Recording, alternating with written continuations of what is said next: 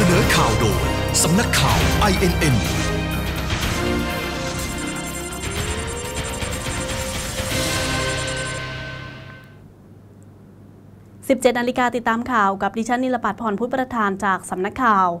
INN ค่ะ ประชาชนแห่ร่วมงานมอเตอร์โชว์ครั้งที่ 39 อย่างคึกคัก ค่ายรถยนต์เปิดโชว์นวัตกรรมเทคโนโลยีแบบใหม่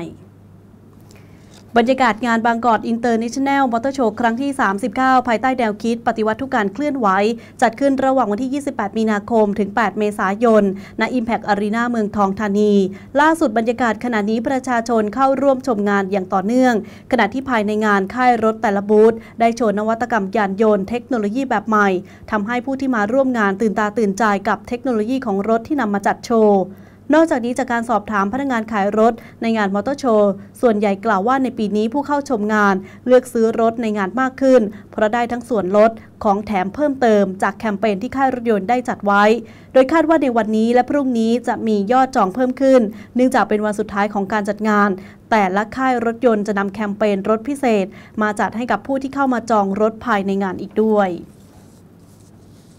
กระแสละครดังจากบุเพสันนิวาสยังแรงทั่วไทย ชาวจังหวัดเพชรบูรณ์แห่ซื้อชุดไทย เตรียมใส่เล่นน้ำสงกรานต์ จากกระแสละครบุเพสันนิวาสที่ทำให้แม่หญิงกระเกตและพี่หมื่นกลายเป็นขวัญใจคนทั้งประเทศ ขณะเดียวกันที่บริเวณจังหวัดเพชรบูรณ์มีบรรดาเหล่าแฟนคลับพากันตามกระแสโดยเฉพาะในการจัดหาชุดไทย สวมใส่เพื่อเตรียมเล่นน้ำสงกรานต์ในช่วงเทศกาลสงกรานต์ที่จะถึงนี้ จนทำให้ร้านจำหน่ายชุดไทย บนถนนคนเพชรบูรณ์หน้าหอโบราณคดีเพชรบูรณ์อินทราชัยอำเภอเมืองเพชรบูรณ์มีลูกค้าชาวเมืองเพชรบูรณ์แห่อุดหนุนอย่างหนาแน่น โดยชุดไทยประยุกต์แบบสำเร็จรูป ซึ่งมีการการออกแบบกางเกง ให้คล้ายกับจงกระเบน มีผ้าสบายกลายเป็นสินค้าที่ขายดี และหลังเปิดร้านตั้งแผงได้ประมาณ 20 นาทีเท่านั้น ชุดไทยสำเร็จรูปดังกล่าวทางร้านที่จัดเตรียมมาจำนวน 100 ชุด ชุดละ 350 บาท ถูกชาวเพชรบูรณ์แห่ซื้อ จนเกลี้ยงแผง โดยนางสาวสุนิสามายศรีธานวลนางสาวอภิญญาใหม่บัวลี และนายสราวุฒิปานันสามพ่อค้าแม่ค้าร้านจำหน่ายเสื้อผ้าชุดไทย บนถนนคนเพชรบูรณ์กล่าวว่า เป็นกระแสอเจ้าจริง ๆทำให้ชุดไทยขายดี แบบไม่คาดคิด ลูกค้าชื่นชอบ นอกจากราคาไม่แพงแล้ว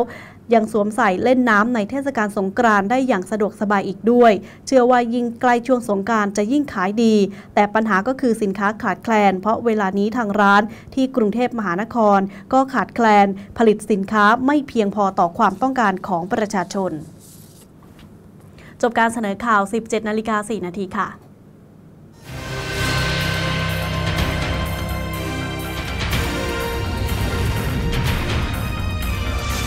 สนอข่าวโดย สำนักข่าว INN